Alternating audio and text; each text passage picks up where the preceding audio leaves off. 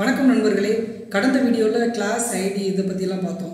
இன்றைக்கி இந்த வீடியோவில் நம்ம என்ன பார்க்க போகிறோம் பார்த்தீங்கன்னா இன்னும் சில சிஎஸ்எஸ் பற்றிலாம் நம்ம டிஸ்கஸ் பண்ண போகிறோம் சிஎஸ்எஸ் ப்ராப்பர்ட்டிஸ் பற்றி இப்போ நான் இங்கே ஒரு பேராகிராஃப் வச்சுருக்கேன். ஓகேங்களா ஓகேங்களா இங்கே வந்து டைட்டில் சூஸ் பண்ணியிருக்கேன் இப்போ இதை நம்ம வந்து ரன் பண்ணலாம்.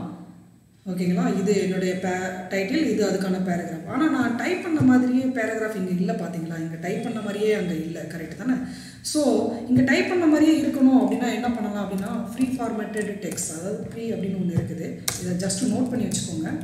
ஸோ அப்படியே டைப் பண்ண மாதிரியே உங்களுக்கு வேணும் அப்படின்னு நீங்கள் ஃபீல் பண்ணீங்கன்னா இந்த ஃப்ரீ ஃபார்மேட்டட் டெக்ஸ்ட் அப்படிங்கிறத நீங்கள் வந்து அங்கே என்ன பண்ணிக்கலாம் யூஸ் பண்ணிக்கலாம். இதை மேக்ஸிமம் எங்கே யூஸ் பண்ணுவாங்க அப்படின்னு பார்த்தீங்கன்னா மேத்ஸ்லாம் டைப் பண்ணுறாங்க மேத்ஸ் ஃபார்முலாஸ் யூஸ் பண்ணுறாங்க அந்த மாதிரி இடங்களில் யூஸ் பண்ணுவாங்க. ஸோ இப்போ நம்ம என்ன பண்ண போகிறோம் அப்படின்னு பார்த்தீங்கன்னா இந்த பா அதாவது இந்த டெக்ஸ்ட்டை வந்து ஒரு பாக்ஸ்குள்ளே போட்டு நம்ம வந்து டிசைன் பண்ண போகிறோம் அதுக்காக நம்ம என்ன பண்ண போகிறோம் அப்படின்னு பார்த்தீங்கன்னா டிவ் அப்படிங்கிற டேக் யூஸ் பண்ண போகிறோம் ஓகேங்களா இந்த டிவ்ங்கிற டேக் ஓப்பன் பண்ணுறோம் இந்த டிவ்ங்கிற டேக் நம்ம என்ன பண்ணுறோம்னா க்ளோஸ் பண்ணிக்கிறோம். ஓகேங்களா ஜஸ்ட்டு க்ளோஸ் பண்ணியாச்சு.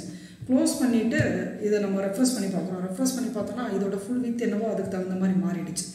ஓகே ஆனால் எனக்கு ஜஸ்ட்டு சில இடங்களில் வந்து நெக்ஸ்ட் லைனில் வேணும் அப்படின்னு நம்ம ஃபீல் பண்ணணும்னா இங்கே வந்து பிரேக்குங்கிற டேக் யூஸ் பண்ணிவிட்டு அடுத்த லைனுக்கு நம்ம என்ன பண்ணிக்கிறோம்னா அப்படின்னு பார்த்தீங்கன்னா நெக்ஸ்ட் லைனுக்கு இந்த மாதிரி மூவ் ஆகிட்டோம் ஸோ அதே மாதிரி நீங்கள் உங்களுக்கு எங்கே தேவை அப்படின்னு நீங்கள் ஃபீல் பண்ணுறீங்களோ அந்த இடத்துல நீங்கள் என்ன பண்ணிக்கலாம்? ஜஸ்ட் அந்த இடத்துல நீங்கள் என்ன பண்ணிக்கலாம்? பிரேக் பண்ணி நெக்ஸ்ட் லைனுக்கு கொண்டு வந்துக்கலாம். ஓகேங்களா இப்போ நம்ம என்ன பண்ணலாம்? இதை வந்து பிரேக் யூஸ் பண்ணிவிட்டு இந்த மாதிரி நெக்ஸ்ட் லைன் கொண்டு வந்திருக்கோம். இது வந்து பிரேக் அப்படிங்கிற டேக் அப் எப்படி அப்ளை ஆகுது அப்படிங்கிறத பற்றி பார்க்கலாம்.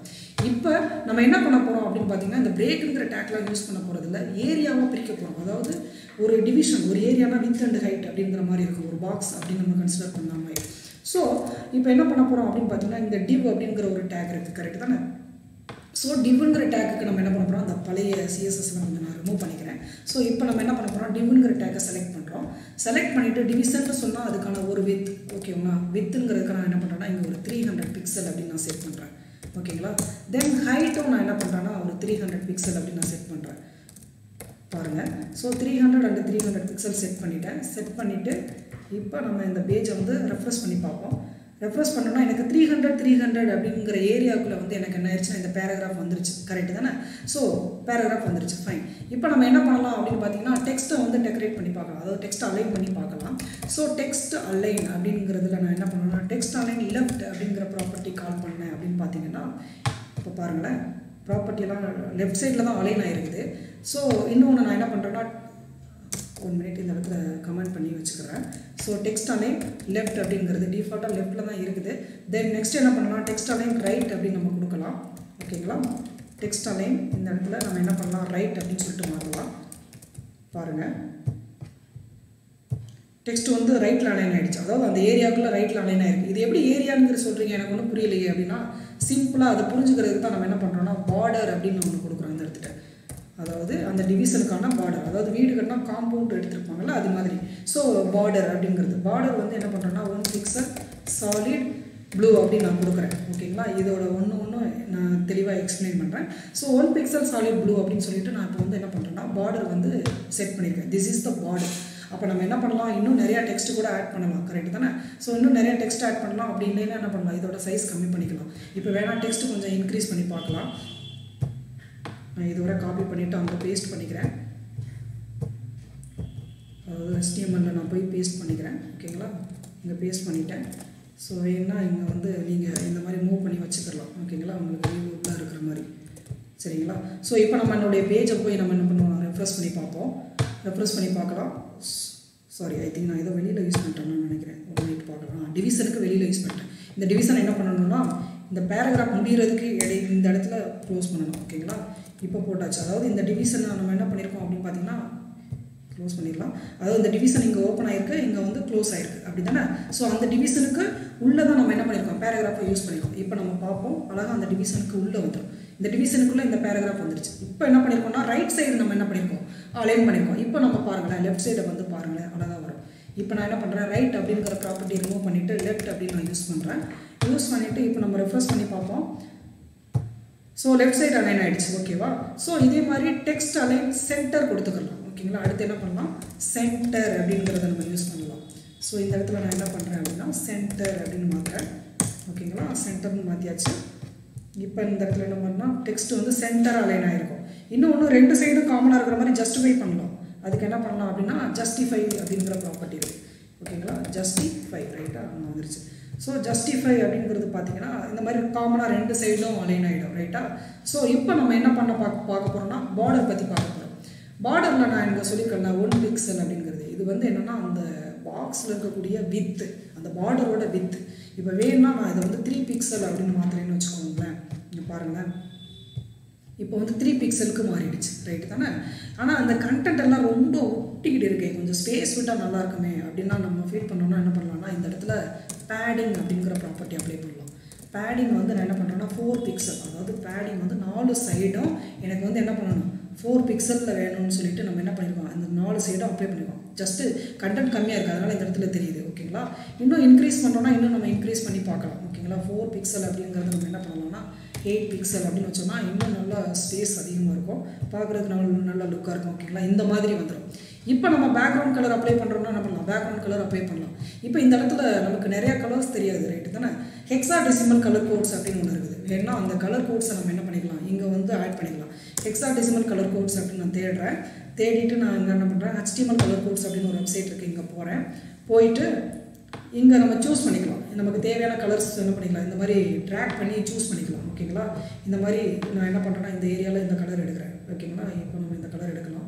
எடுத்துகிட்டு இந்த ஏரியா இதான் ஹெக்ஸ் அப்படின்னு போட்டிருக்காங்களா? இதான் கலர் கோட்ஸ் இதை ஜஸ்ட் காப்பி பண்ணுறோம் காப்பி பண்ணிவிட்டு நம்ம என்ன பண்ணுறோம்னா பேக்ரவுண்ட் கலர் அப்படின்னு சொல்லிட்டு அப்ளை பண்ணுறோம் ஓகேங்களா அடுத்த ப்ராப்பர்ட்டி வந்து பேக்ரவுண்ட் கலர் பேக்ரவுண்ட் கலரில் நான் என்ன பண்ணுறேன்னா இதை வந்து பேஸ்ட் பண்ணுறேன் ஓகேங்களா ஜஸ்ட் பேஸ்ட் பண்ணிவிட்டு இப்போ நம்ம வந்து நம்மளுடைய வெப்சைட்டை ரெஃபர்ஸ் பண்ணி பார்த்தோம்னா அழகாக பேக்ரவுண்ட் கலர் ஆட் ஆகிடும் ஓகேங்களா? சரி ஓகே. இப்போ இதோட கலர் மாத்திரம்னா அது உங்களுக்கு நல்லாவே தெரியும். கலர் அப்படிங்கிற ப்ராப்பர்ட்டி நீங்கள் யூஸ் பண்ணிங்கன்னா இதோட கலர் அப்படியே நல்லாவே மாறிடும்.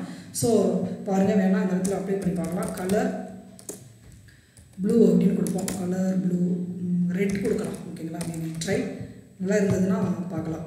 ஸோ ரெட் அப்படின்னு சொல்லிட்டு நம்ம அப்ளை பண்ணியிருக்கோம். ரைட் தானே? ஸோ இந்த பார்டரில் இந்த பேக்ரவுண்ட் கலர் டெக்ஸ்டோட கலர் வந்து ரெட் அப்படின்னு சொல்லிட்டு நம்ம அப்ளை பண்ணியிருக்கோம். சரி தானே?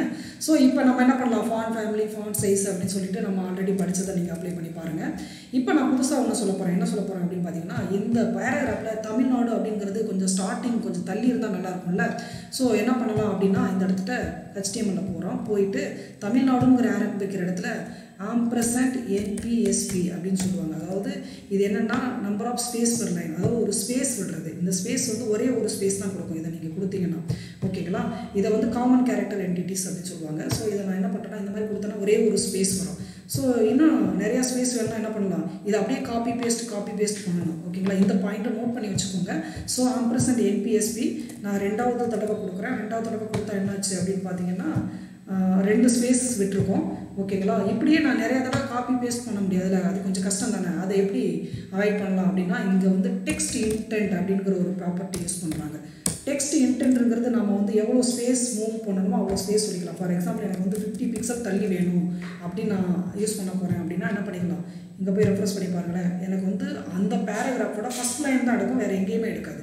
ஃபஸ்ட் லைனில் நான் என்ன பண்ணிக்கிறேன் ஃபிஃப்டி பிக்சல் அப்படின்னு நான் சொல்லியிருக்கேன் சரி இந்த டி அப்படிங்கிற ஒரு டெக்ஸ்ட் வந்து கொஞ்சம் போல்டாக இருந்தால் நல்லா இருக்கும்ல பெருசாக இருந்தால் நல்லா இருக்கும்ல நியூஸ் பேப்பரில் இருக்கிற மாதிரி. அது நம்ம பண்ணி பார்க்கலாமா? சிம்பிள் என்ன பண்ணலாம் அப்படின்னு பார்த்தோன்னா இங்கே வந்து ஸ்பேன் அப்படின்னு ஒரு டேக் இருக்குது ஸ்பேங்கிற டேக் இங்கே எங்கே எதுக்காக யூஸ் பண்ணுறாங்க அப்படின்னு பார்த்தீங்கன்னா சிஎஸ்எஸ் ஸ்டைலை வந்து உள்ளே ஆட் பண்ணுறதுக்காக யூஸ் பண்ணுறோம் ஸ்பேங்கிற டேக்கை நான் வந்து என்ன பண்ணுறேன் ஓப்பன் பண்ணி க்ளோஸ் பண்ணுறேன் இங்கே போயிட்டு இன்லைனாக அதாவது அதுக்குள்ளே என்ன சொல்கிறேன்னா ஸ்டைல் ஆட் பண்ணுறேன் style is equal to font size ஓகேங்களா font size font size twenty pixel அப்படின்னு நான் கொடுக்குறேன். இப்போ பாருங்களேன் என்ன நடக்குதுன்னா ஜஸ்ட்டு இதோட ஃபாண்ட் சைஸ் கூடி இருக்குது இன்னும் ஃபாண்ட் சைஸ் கூட்டுறோம்னா ஃபாண்ட் சைஸ் கூட்டிக்கலாம். ஒரு தேர்ட்டி டூ பிக்சல் நம்ம வைப்போம். தேர்ட்டி டூ பிக்சல்னு வைப்போம். பாருங்கள் ஃபைன் தேர்ட்டி டூ பிக்சல் மாறிடுச்சு. அதாவது தமிழ் அப்படிங்கிறது தான் நம்ம ஃபுல்லாக கொடுத்துருக்கேன்னு நினைக்கிறேன். இப்போ டி அப்படிங்கிற அந்த அந்த பர்டிகுலர் டெக்ஸ்ட்டுக்கு மட்டும் கொடுப்போம் பாருங்களேன். இந்த டி அப்படிங்கிற அந்த பர்டிகுலர் அந்த அந்த ஒரே ஒரு இந்த சிங்கிள் கேரக்டருக்கு நம்ம அப்ளை பண்ணுறோம் அப்ளை பண்ணிவிட்டு இப்போ நம்ம ரெஃப்ரெஸ் பண்ணி பார்ப்போம். டி அப்படிங்கிறது மட்டும் என்னாச்சு? ஃபான் சைஸ் வந்து ரொம்ப பெருசாகிடுச்சு நீங்கள் வேணால் சிஎஸ்எஸ் வேறு என்ன வேணாலும் சொல்லிக்கலாம். இந்த டீங்கிற டெக்ஸ்ட் மட்டும் என்னோட எனக்கு வந்து ப்ளூ கலரில் இருக்கணும்னா இந்த இடத்துல என்ன பண்ணலாம்? அழகாக கலர் ப்ளூ அப்படின்னு நம்ம கொடுக்கலாம். ஓகேங்களா? பக்காவாக என்ன வரும் ஸோ இங்கே நம்ம பாருங்கள் டி அப்படிங்கிற அந்த ஒரே ஒரு பர்டிகுலர் கேரக்டர் மட்டும் என்ன பண்ணியாச்சு? மாற்றியாச்சு ஸோ இந்த மாதிரி ஸ்பேன்ங்கிறத நீங்கள் எங்கே வேணாலும் யூஸ் பண்ணி இந்த யூஎஸ் டாலருங்கிறத நேம் வந்து வேறு மாதிரி ஹைலைட் பண்ணி காமிக்கணும் நீங்கள் நினச்சிங்கன்னா அந்த இடத்துல நீங்கள் என்ன பண்ணிக்கலாம்? ஸ்பேன்கிற டேக்கை யூஸ் பண்ணிக்கலாம். யூஸ் பண்ணி பண்ணிக்கலாம். சரிங்களா? இப்போ நெக்ஸ்ட் நம்ம என்ன பார்க்க போகிறோம் அப்படின்னு பார்த்தீங்கன்னா லைன் ஹைட் ஒவ்வொரு பேராகிராஃபுக்கான லயன் ஹைட் அப்படிங்கிறத பற்றி பார்க்க போகிறோம் ஸோ லயன் ஹைட் அப்படிங்கிறத நான் என்ன பண்ணுறேன்னா ஒன் பாயிண்ட் ஃபைவ் அப்படிங்கிற மாதிரி வைக்கிறோம் அதாவது நம்ம லேட்டில் யூஸ் பண்ணுவோம் பார்த்தீங்களா அதே மாதிரி. இங்கே லைன் ஹைட் அப்படின்னு நான் கொடுக்குறேன். கொடுத்தா என்ன ஆயிடுச்சு? ஒன் பாயிண்ட் ஃபைவ் கூடிருச்சு. அதனால் நம்ம கொஞ்சம் கம்மி பண்ணிக்கலாம்.